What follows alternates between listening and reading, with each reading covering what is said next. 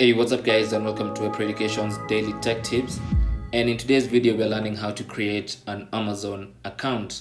Now, you don't really need an Amazon account to scroll through Amazon and see whatever they're selling there.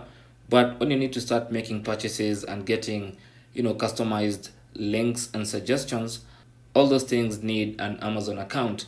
Now, creating an Amazon account is a very simple process. All you need to do is just open a new tab on any browser and go to amazon.com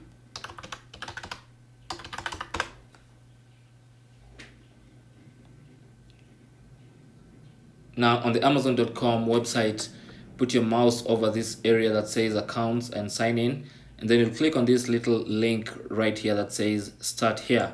And that should take you to the amazon sign up page where you can create your account. Now in the first field just uh, fill out your name then put in your email address.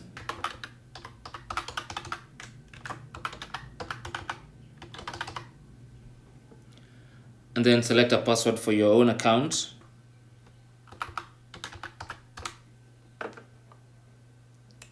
And then you can re-enter the password for confirmation.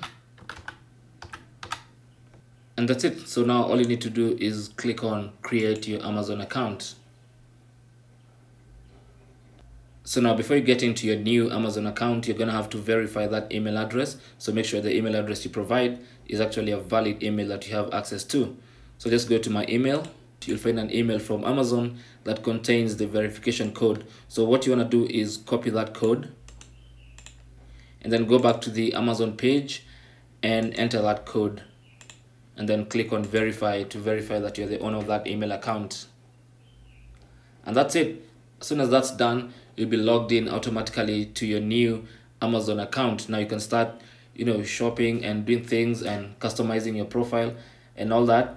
To customize your profile all you need to do is click on your name and then go to account. And then on your account page under ordering and shopping preferences simply click on your amazon profile. And then on your amazon profile page you can change your profile picture you can change your name your location and all that stuff. But that's basically how to create your brand new amazon account.